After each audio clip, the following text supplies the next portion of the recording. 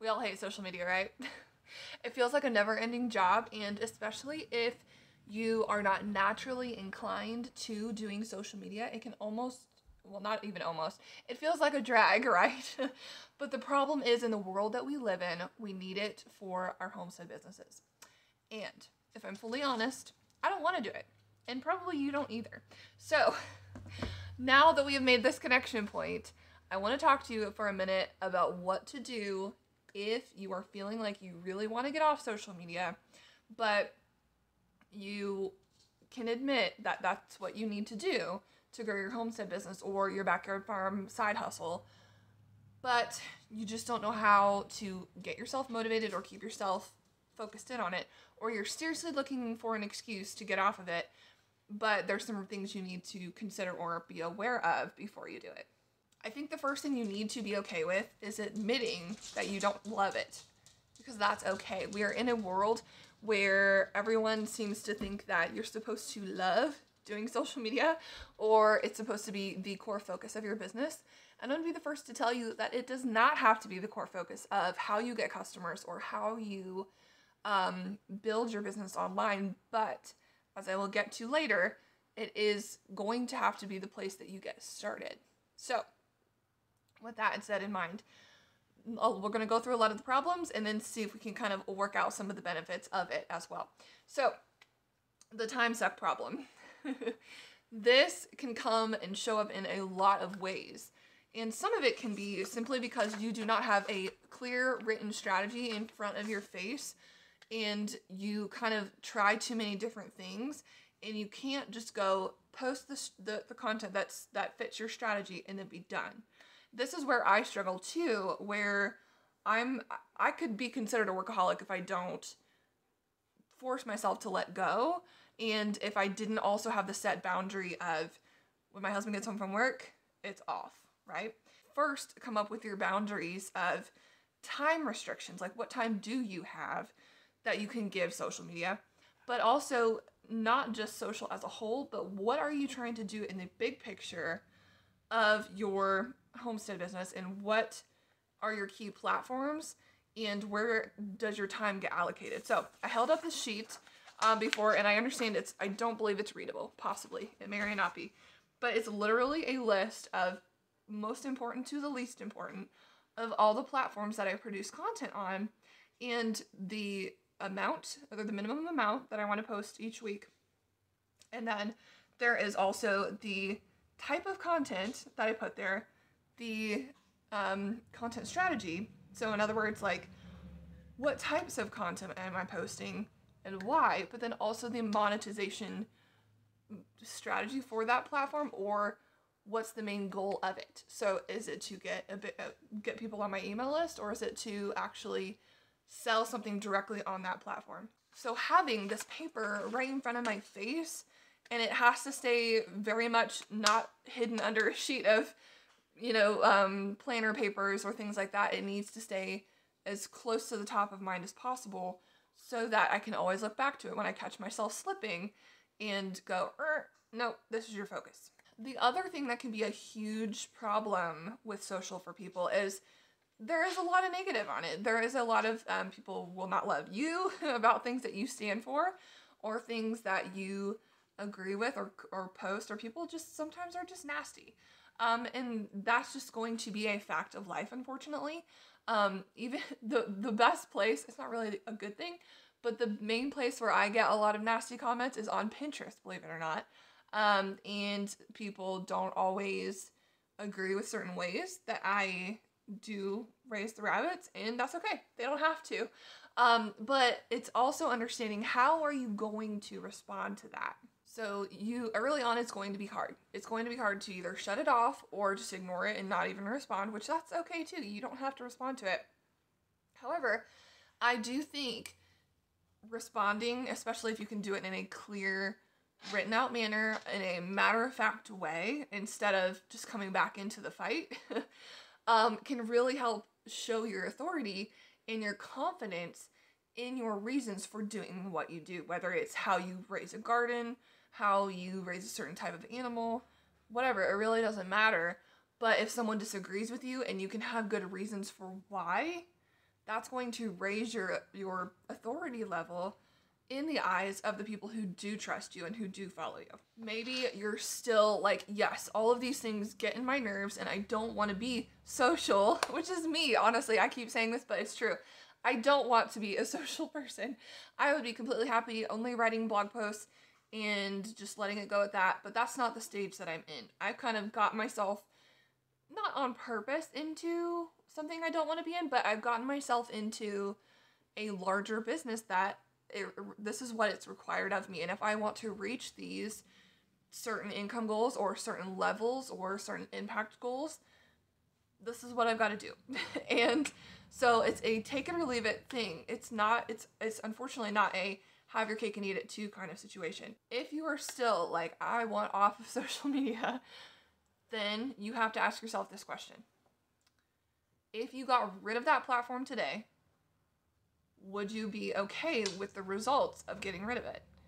So the my Facebook page would be a bigger impact to me than deleting Instagram if I'm being completely honest. So, what am I going to if I let's look at that for example's sake. My main goal with the rabbit or the Facebook page is to be communication platform for the rabbits, for the French Lops that I raise. And while it is still branded under my whole business name and just me essentially. Um, I do share a little bit about, you know, business and, and homestead business, that sort of thing. But the main goal is giving me a second way to keep a larger group of people updated on what's going on in the rabbitry, but then also how I can communicate with people. And a lot of people do find me as a buyer through Facebook still. So it, it, it could impact the amount of deposits and things like that. Um, and but that would again force me to only communicate through email, or I would have to choose to allow my phone number to be a contact option, and that's just not something I'm willing to do yet. Um, even though I have a dual number system that kind of protects my private number, but also gives me a number contact option. So maybe that's going to be something in the future.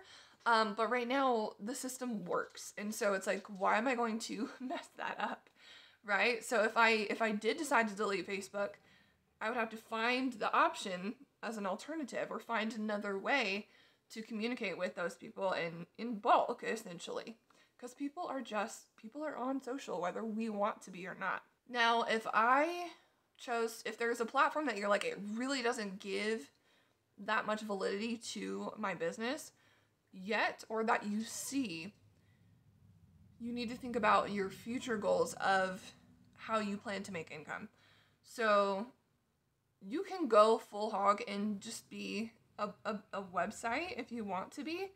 Um, but you are also looking at bigger brands if you want to if you want to get brand deals or have people pay you to post about content having a blog is okay but they're not likely to do that as much it's you you having a social following is going to be the more likely way for you to get brand deals. Um, and so, like it or not, like if that's an income stream you want to do, or some other one you think will benefit from that, um, you need to consider that as well. Why is social media valuable?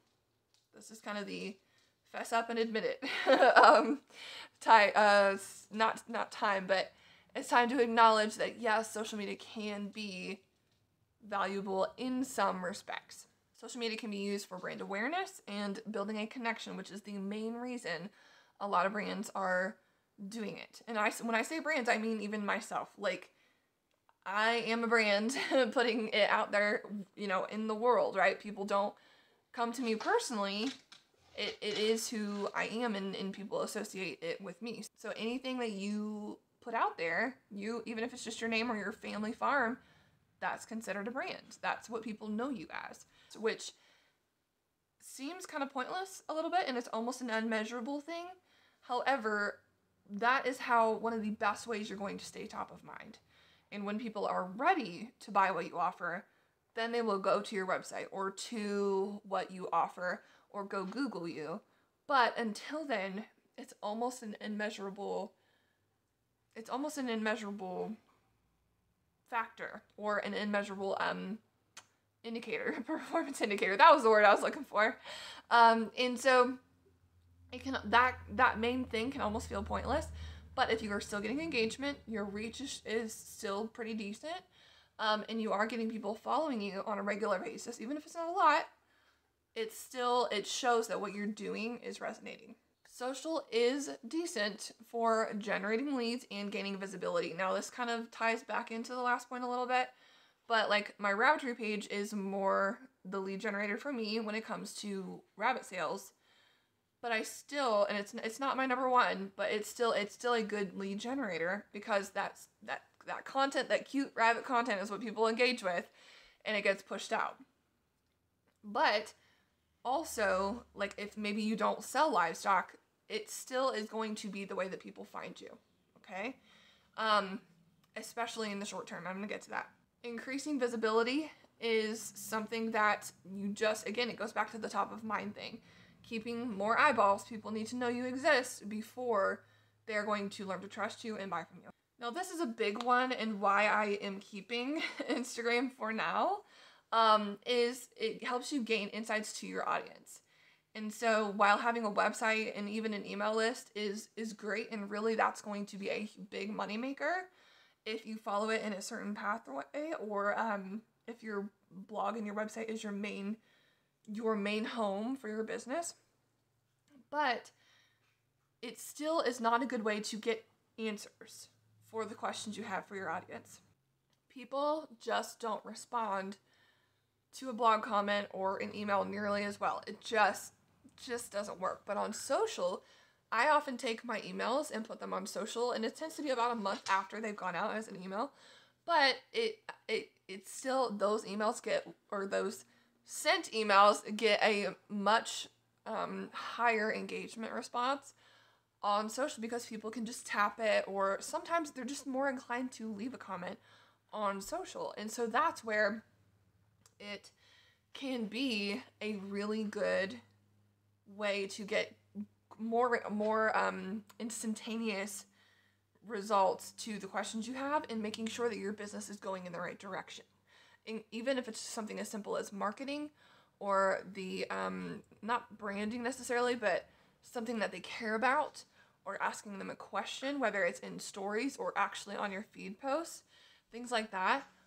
It's really it's really the best way to get a quick answer for things that you're looking for, especially when you have an audience, even if it's just a small one.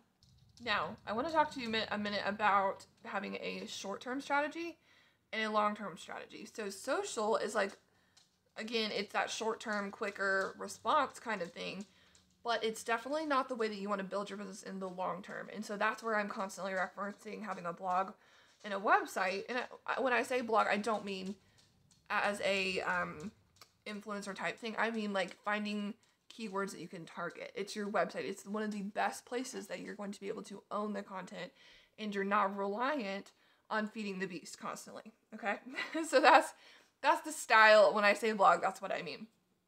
But the the short term, like I've said, is is is going to be the way that you're going to get customers quicker because that was how I got my rabbitry sales early on quickly because ranking in Google, if you only did your website, if you relied on ranking in Google and that was it, you're looking at traffic a year from now probably. So you can't rely on, especially raising and selling livestock or um, garden not garden animals. You can't rely on making sales quickly or in the beginning just through Google. You also need that short-term audience. So, what are some things you can do in order to help you stick with it if you're like I, I, I see the need but I don't I don't want to do it, right? Go back to this, create your paper. This is just typed up. I didn't get a template or anything. Create a sheet of paper of your platforms and why you're doing it. Have your main goal for the platform, your monetization strategy. So, like, how are you getting money, or how could this platform lead to money? and then your content strategy meaning like what you're posting and why so how, what content are you using to get just just get eyeballs to your account but then how are you actually telling them about your business as well so have that listed out so you can understand that gives you that why when you're like why the heck am i doing this when you feel like you're doubting again you're able to go This is why. Okay? Set either a certain day that you create all the content to go out on social and schedule it and just let it go. That typically is what I tend to do for those platforms. Or have a um, monthly printable calendar type thing where you mark each day that you did post and what you were planning to post. Um, and so maybe you need to find a social media scheduler that you can use, but doing what you need to do to limit your restrictions or limit the friction to posting is what's going to help you do it. Batch creating the content, even if it's just partially, it's going to get you a lot further than going, okay, what do I post today? That sort of thing. Having a plan of what you're going to post as far as topic categories or the general point that you want to make is also going to be a big help. Some of them are like behind the scenes, about me, um, essentially letting people have an insight into you. Um, some of them are tips, some of them are um, benefits of your business. So that helps you remember hey, let's not forget, we need to remind people of the stuff that we offer, that sort of thing, right? Um, if you are a homesteader of, of your, that's how you're making money, which is what I recommend you do, um, is, you know, talk about, about your behind the scenes could be about your animals. You could do care tips. You could um, do your personal thought. Like if you have a certain reason you do a raising strategy, like whether like for me, I don't, I, my rabbits are on wire. Um, I don't do hay, sort of things like that, and I've got good reasons for backing them up. So how do I share that with people? Those are the things that'll help me stand out. And last but not least, sometimes you just gotta buckle down and do what you don't want to do. And if you struggle with that, I totally understand. Like, I don't want to do it, but I want the business. And so you have to talk to yourself and be like, these are the options. So, what are we going to do? Do you understand that?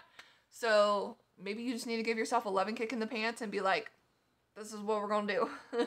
so, finding your reason why you're going to do it, setting yourself up and getting it done in a batch and not having to be one off all the time and then just sitting down and doing it. All right?